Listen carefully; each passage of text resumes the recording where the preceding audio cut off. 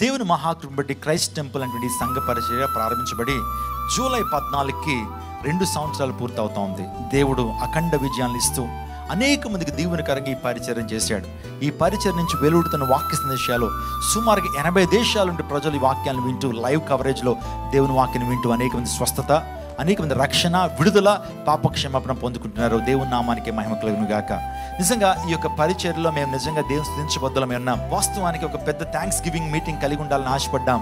కానీ ఈ యొక్క లాక్డౌన్ ద్వారా ఈ పరిస్థితుల ద్వారా ఆ మీటింగ్ మేము కలిగి ఉండలేకపోతున్నాం. కానీ మేము ప్రభువు స్థుతించాలి ప్రభుని ఆరాధించాలి ప్రభుని గనపరచాలనే ఉద్దేశంతో ఆన్లైన్ ద్వారా సెకండ్ యానివర్సరీ సెలబ్రేషన్స్ మేము పద్నాలుగో తారీఖు అంటే మంగళవారం సాయంకాలం ఏడు గంటల నుంచి యానివర్సరీ కార్యక్రమం ప్రారంభించబడతా ఉంది.